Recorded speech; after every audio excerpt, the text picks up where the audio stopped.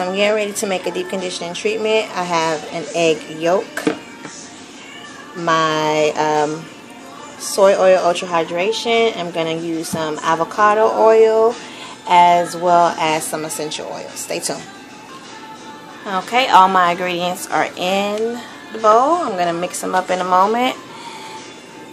Three drops, four drops, maybe a teaspoon or so. Same thing with the avocado oil and about two and a half scoops of the Elasta QP. And again, one egg yolk and I'm going to mix that up momentarily and I'll show you when I'm done.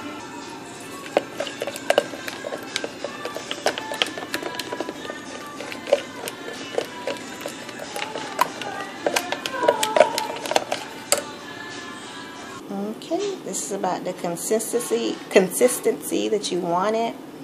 Um, and then just apply it to your hair. Leave it on for about 30 minutes or so. Sit on the dryer and then wash it out.